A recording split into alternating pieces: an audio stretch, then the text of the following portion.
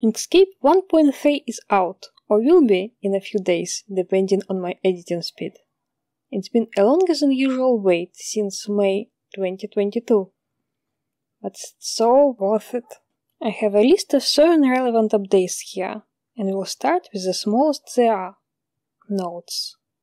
Within one path, we can now draw around nodes to select them.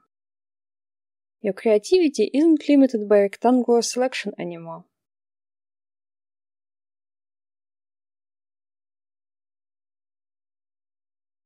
This is useful for many tasks where you want to pull a group of nodes like size blending or adjusting seam allowance.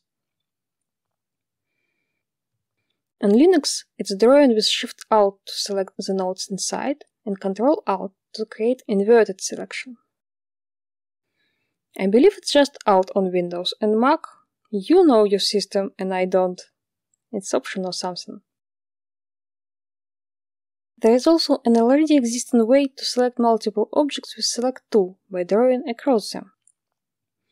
I'd like to see a blend of those two features, where I could select objects by drawing around them, like in my montage here. You might remember in the Inkscape 1.2 video, I wasn't impressed with the snapping button in the corner. I got used to it since, and moved to much smaller laptop screen, and very rarely need to fine-tune particular settings anyway. But now there is an option to have it along the right edge, like before. Sadly not along the top edge, as I liked it. Then again, with laptop screen it makes more sense to leave it in the corner. I remind you to switch off the alignment snapping if you edit patterns, if you value sanity of course. The previous version introduced great accessibility improvements, specifically icon resizing, but align and distribute icons were left small for aesthetic reasons. The layout may still change, but now they are resized along with other toolbar icons and much easier to see. I agree, it looks a bit crowded, but usable. My early viewers will remember the famous Inkscape hack, where you would import one A4 page of the pattern ungroup it a few times, and the full pattern shape would appear. This was happening because ungrouping also removed clipping. There are good news and bad news here, and being an Eastern European, I'll start with bad news. This won't longer work by default, but there is a setting to keep the old behavior. The hack isn't much relevant now that PDF Stitcher exists, of course but that's an important change to know about. Now we are getting to juicy stuff. I have a separate video prepared on the topic with more detail, but Shape Builder! If you never used a certain industry standard software, you won't know about it like I didn't, but many people do. It's a great way to deal with patterns that have lots of different options and cutting lines. A bit buggy here and there, but really useful. If you click, you get separate shapes, but most of the time you'll want one. That's achieved with dragging.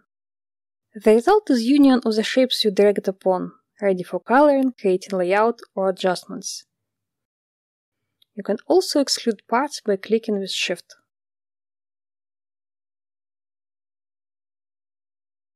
I showed PDF layers in several videos by now, as I tend to use development versions.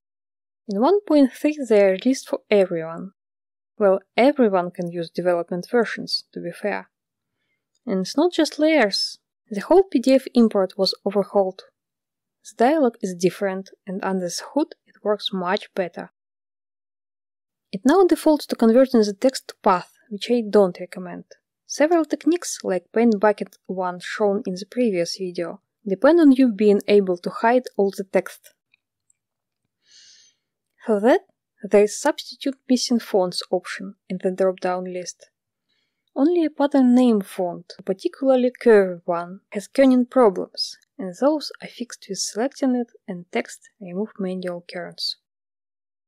And that's why I created a custom shortcut for manual kerns removal a few years ago. Layers look nice and have familiar names. All hail Martin Owens. Layers import visible at the moment, and you can turn their visibility off at will. There are infinite ways to create PDFs and layers in other software, so from time to time you will find a buggy pattern, or rather a buggy pattern import. Please report those, or at least tell me about that, in the comments, or better, in my cozy Discord server. Objects and Layers panel got better too, apart from opacity that I habitually change in the bottom left corner anyway. And blended modes that both you and me barely ever use.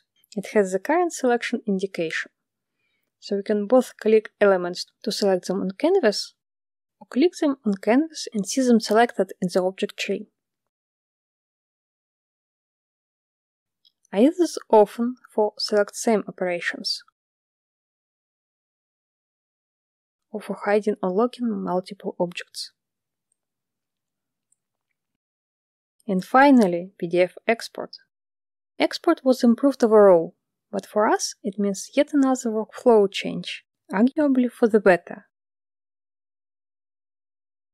Pages now have margins and bleed, and that's the same bleed we used to use, only it's more visual and is set in a different place. With Page tool active, click to arrows icon and find Page Bleed field. Enter the familiar 500 mm and the page will expand all around. You can also see this change on the canvas. Then just pull the page corners to make the resulting file big enough for the pattern and export as page. With this, you don't have to use bleed at all, to be honest. Just pull the corners to have plenty of space around. There are many more changes, subtle or not. I'm personally pleased to see functional font collections. But with all this introduced, you should be up to speed and back to sewing. Come to my Discord to talk, to Patreon to support, and in the comments for engagement. See you soon!